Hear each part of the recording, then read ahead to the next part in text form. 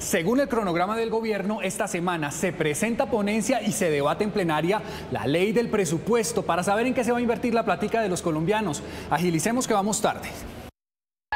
Ah, no, es que al parecer se fueron de semana de receso estudiantil, ¿cómo les parece? Ni Cámara ni Senado citó a plenaria, solo unas comisiones van a trabajar. ¿Será que es que no les basta con cuatro meses de vacaciones que tienen? Mire, tienen tres meses finalizando el primer periodo legislativo del 16 de diciembre al 16 de marzo y luego otro mes del 20 de junio al 20 de julio. Sin duda, esta semana perezosa les saldrá caro a proyectos importantes que buscan precisamente reducirles las vacaciones a los congresistas.